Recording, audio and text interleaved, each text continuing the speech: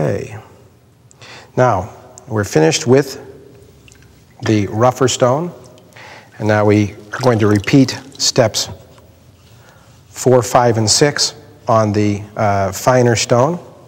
That rough stone happens to be a 1,000 grit stone, and the fine stone I'll be using for finishing is a 6,000 grit stone.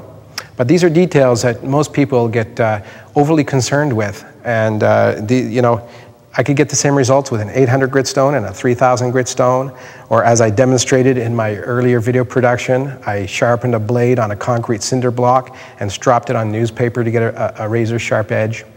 Uh, these are one of the details that people you know, choose to confuse themselves with, and it's really the last thing that you should be concerned with. The, I'll reiterate the point again is that it's 99% technique and 1%, uh, 1% the tools. So by laying this blade flat on the fine stone, I am simply polishing out some of the rougher scratches in that secondary edge that uh, were created by grinding the blade thin. And that will, uh, that helps protect the blade against uh, uh rust. It makes it look prettier. And it also makes it easier to clean up. And it gives it uh, a lower friction coefficient when you're cutting through things, the more highly polished the blade is.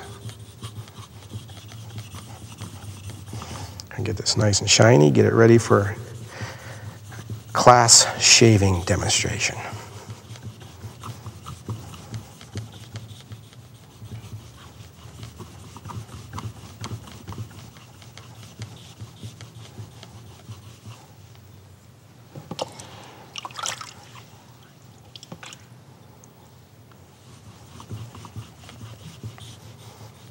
Okay, so after we have polished that secondary edge, we will raise it up a hair again and strop that primary edge.